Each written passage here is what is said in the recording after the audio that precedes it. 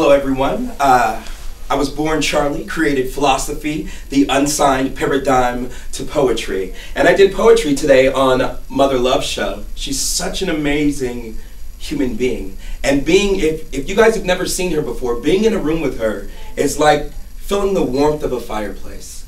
And, and in that warmth, we came in today and she interviewed me on my forthcoming album, um, Heavy is the Crown and we talked about the album and we talked about politics and, and fashion and all of my favorites. Um, again, my name is Philosophy. Where you can find me is um, Philosophy562 on YouTube, Philosophy Style on Instagram. I do a photo fashion blog.